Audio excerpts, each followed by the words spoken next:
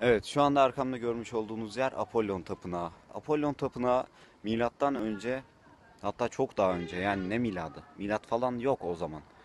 Yani ne milat yokken çok eskiden e, yapılmış bir yer. Ne- neden burası böyle yıkık dökük? Hemen hikayesini anlatayım. Zamanında şuradaki evde oturan Poseidon Apollon'a ve arkadaşlarına diyor ki oğlum diyor gidin başka yerde tapının diyor. Burada tapınıp durmayın diyor.